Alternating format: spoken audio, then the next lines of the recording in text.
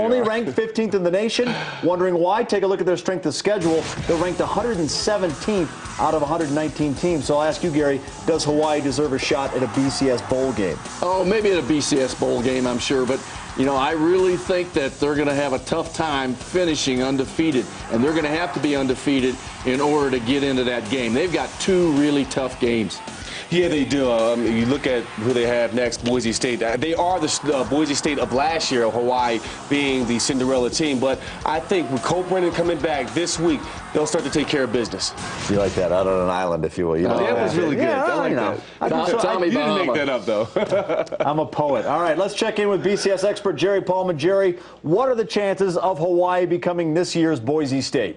Well, they can get a chance. You know, if, if Hawaii gets to 12 and 0, it, it, depends on what other teams do as to whether or not they can get into the top 12 and qualify automatically. They're not nearly the computer team this year that Boise State was last year because their schedule is just so weak. It's one of the weakest in the 10-year history of the BCS for anybody. So they're, they're going to have that kind of hanging over their head. They're going to need more support from the voters. It's about a 50-50 shot they could get to the top 12, but if things break right, they might be able to get in even as low as 14 because they could be an at-large team if you need a team from a different conference.